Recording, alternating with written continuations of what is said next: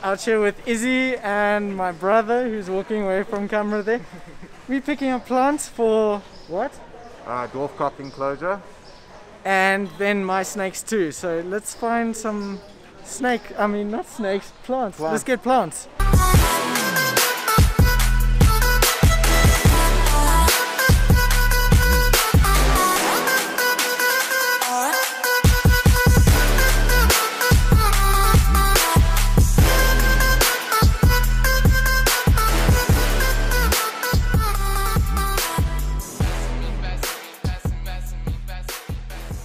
Hey guys, what's up? So we are here at Izzy's facility and I'm gonna show you some of the baby crocs he has here.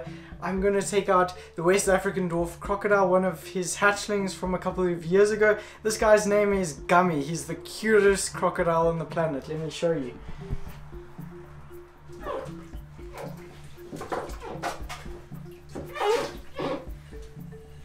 He's actually pretty a pretty chilled crocodile. And as you can oh. see, this is probably one of my, if not the favorite crocodile for me. Look at that. He's oh. making such a cute little noise to call his mommy and daddy to come and protect him. But these guys have heavy, heavy osteoderms. And that's, osteoderms are free floating bone in their oh. scales. So as you can see this, it's like armor, armored plating skin. And osteolaemus, which is their scientific name, Osteolaemus tetraspis, actually means four shields and that's for these osteoderms right behind their neck here acting as armor to protect them. As you can see it's hard and it, it like it's not attached to any spinal cord or anything like that. But isn't that guy so cute? He's a really really well behaved little guy too. Izzy's done some incredible training with him and now he's just a little bit weary because he doesn't know me but he's the cutest little guy. I Want to give him a kiss on the lips, but I'm not going to do that. So let's feed some of the animals he has here, like the Paleosuchus and the Mecistops cataphractus, which is another African species that is absolutely incredible. Take a look at Gummy, I just love him. Cool, let's put him away and get the food out. There we go nice and warm in their little tubs there. So we will get a nice little chunk of chicken over here and I'm going to feed last year's hatchling West African dwarf crocodile Osteolaemus tetraspis. Okay, so we'll try Gummy now because that little guy wasn't interested. Come check out Gummy.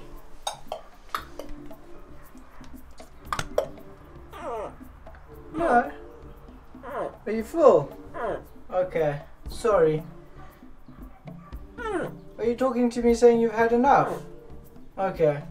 Okay. Next next little guy is the male Mecistops cataphractus, which is the West African slender snout crocodile. Incredible, incredible animals.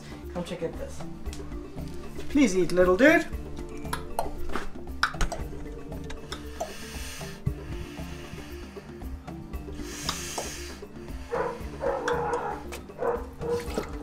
There we go, did you see that? You can zoom in there.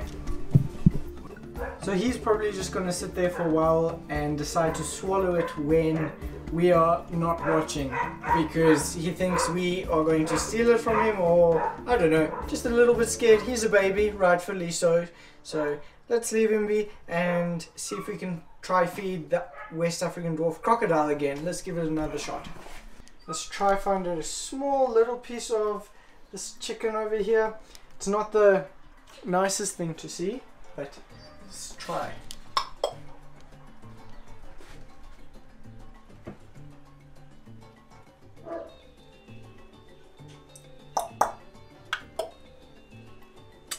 There we go. No, I don't think it's gonna eat it. Oh well. Oh well, I think they've been fed enough. Probably having a nice time here with Izzy and that's why they're not wanting to feed on camera because they're probably a bit spooked out about this, you know, whole apparatus with the microphone. So let me just get that piece of chicken that he bit in a defensive bite. So that's it. See how they dunk the chicken in the water like that? That's because they kind of got to get it lubricated before they can get it down their gullet.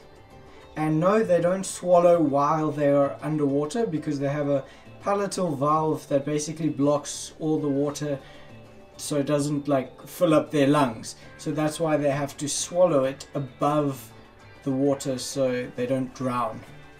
Let's see if we can feed Mr. Truffles a big. There we go. West African dwarf crocodile. Generally, West African dwarf crocodiles don't get this big, so he's he's an exception, eh? Is he? Yeah, he is. He's about 2.1 or 2.2 meters. Come on, there you go. there we go. What a good boy. Oh, you guys made it. Okay, so the West African dwarf crocodiles. What are they busy doing now? Is he? Uh, as far as I could see, it seems like the tails were cold. Here's my male's back, so the female must be here. Yeah, So you? Th- I think. I they- think they're mating. I honestly do. That's pretty cool.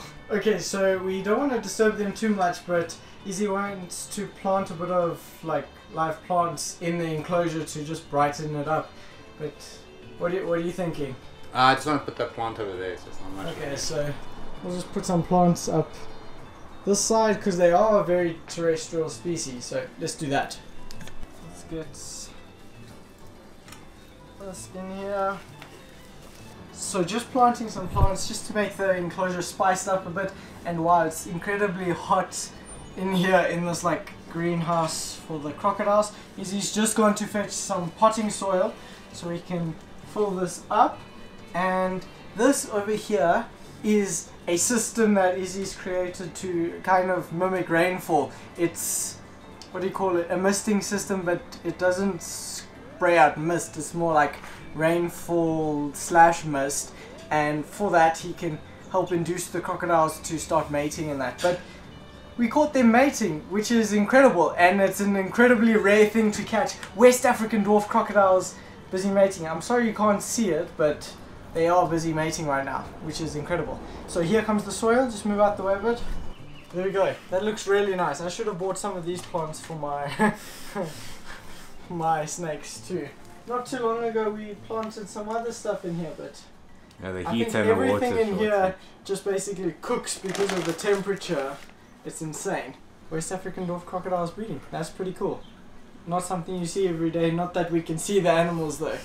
But thanks Izzy for showing us around with the babies. That was incredible. Cool, no issues, man, no issues.